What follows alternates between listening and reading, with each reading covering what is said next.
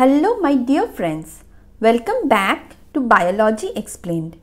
Lot of research is going about the vaccine development for COVID-19 and it seems BCG vaccine can also be a potential candidate until the specific vaccine for COVID-19 is developed. I came across two papers recently, one from India and the other one from USA. Let's see what they have told in these papers about BCG vaccine and COVID-19. I hope you all know that the BCG vaccine is a specific vaccine for tuberculosis that is it is an anti-tuberculosis vaccine. It is found to be a very good immunomodulator that is it trains the immune system of our body.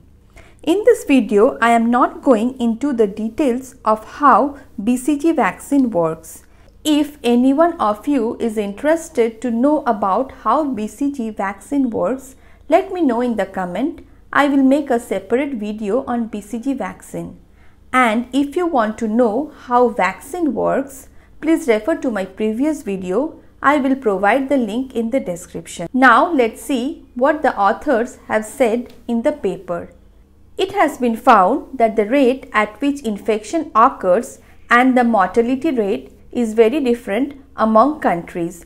Various reasons like ethnicity, dietary habits, climate, social activities, genetic differences can be responsible for these differences. And according to the authors, another reason for this difference can be due to the difference in the BCG policy. There are various countries where the BCG policy is different. The authors have divided the countries into three groups depending upon the BCG administration policy.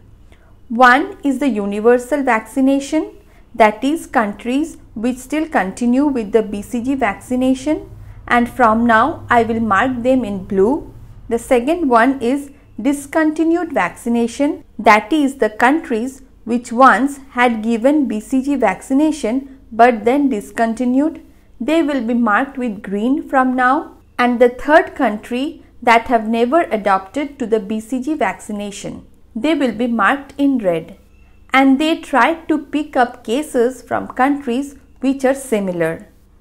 They looked at the disease incidence, that is, the rate of newly diagnosed cases and the mortality, that is, death rate. Let's draw two graphs where y-axis shows the disease incidence or the death and the x-axis shows three different countries based on BCG vaccination policy. Disease incidence and mortality was found to be much higher in the countries with no vaccination as compared to the countries which had universal vaccination policy. The incidence and death was found to be intermediate for the countries with discontinued BCG vaccination. Please note that these graphs are only for pictorial representation. They do not represent the exact data found in the paper. Please refer to the journals for the exact data. Next, they tried to look at the age-specific incidence rate and mortality rate. They divided the age into five different groups less than 15, 15 to 45, 45 to 65, 65 to 80 and above 80.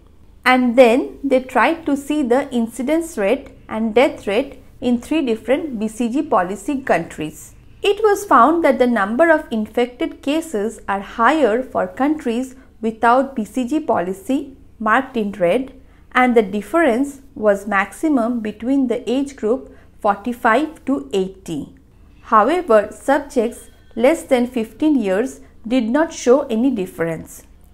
The mortality rate was also found to be higher in discontinuous or no vaccinated group as compared to the universal vaccinated group.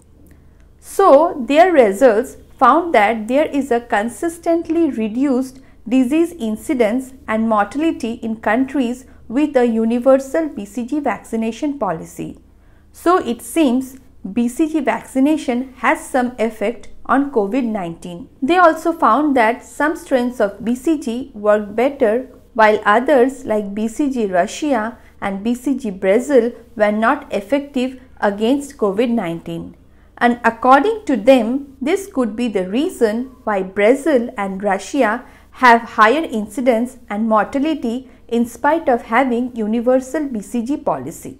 The American authors in the journal PNAS also found the similar results that is there is an inverse correlation between BCG vaccination and mortality rate. But they caution that randomized control trials will only provide the ultimate result.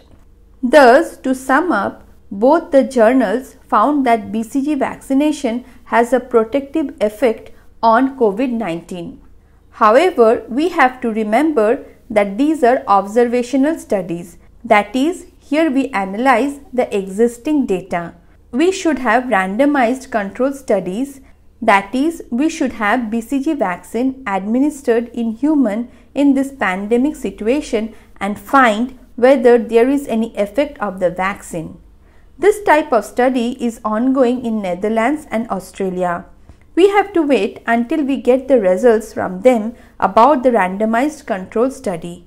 Till then, we have to take this data with a pinch of salt since these are only observational studies. Hope you enjoyed today's video. Let me know in the comment what you think about BCG vaccine and COVID-19 situation. And don't forget to like and subscribe my channel. Thank you.